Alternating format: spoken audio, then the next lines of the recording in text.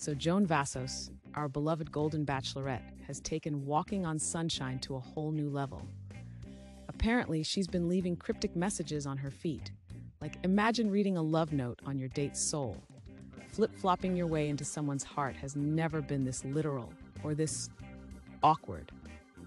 Taking the phrase swept off her feet seriously, Joan seems to be on a mission. Her feet are now the ultimate conversation starter. Someone needs to tell her. Joan, sweetie, people are supposed to read your mind, not your feet. Unless she's practicing for some secret Morse code championship? Genius, yet so out there.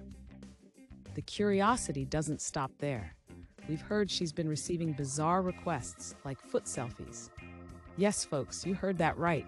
Imagine propping up your feet on satin pillows, ensuring perfect lighting, and snapping that just woke up look. Who knew feet could get their own fan mail? Joan's feet might be the next big thing on social media. Forget dog selfies and glittery nails. Footograms might trend. Picture it. Just had breakfast, here's a toe update. And the best part, they'll never have a bad hair day. It's unforgettable, really. And let's talk about those messages. Are we deciphering hieroglyphics or Instagram captions here? One moment she's promoting world peace on her left big toe, the next hints about her next date on her right heel. Those must be some pricey pedicures. Forget tattoos. Feet are the new canvas for life's philosophies. But why stop there? Joan could start a footbook club, reviewing novels from the perspective of her toes.